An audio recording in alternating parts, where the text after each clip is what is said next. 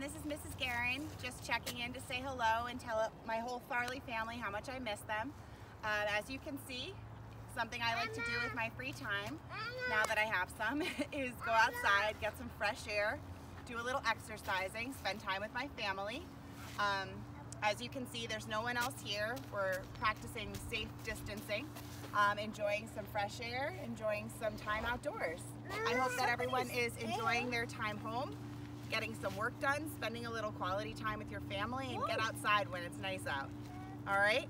Can't wait to see you soon. Say bye, Isaiah. Bye. Isla, say bye-bye. Look, Isla. say bye-bye.